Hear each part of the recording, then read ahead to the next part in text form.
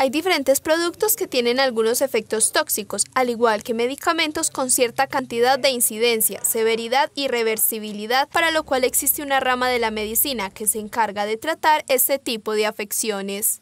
La toxicología es un área de la ciencia que se especializa en saber cuáles son los efectos adversos de los tóxicos con los que tenemos contacto, sean ambientales, sean por medicamentos que nos tomamos, sean naturales o sean también por parte de nuestro trabajo.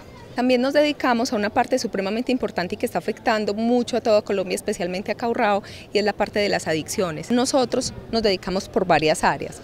Una de las partes es la toxicología ambiental. Algunas sustancias que comúnmente ingerimos pueden producir cáncer. A los pacientes que consumen más de cinco medicamentos les explican la hora de tomarlos, con qué tipo de alimentos y la dosis adecuada para disminuir la cantidad de medicina y consumir solo necesariamente la que el paciente necesita. Otra de las cosas es el área de tabaquismo. Nosotros manejamos pacientes con tabaquismo, hemos tenido pacientes que se fumaban seis paquetes al día, 120 cigarrillos en un día y están en cero porque ya ahorita hay medicamentos para poder dejar de fumar.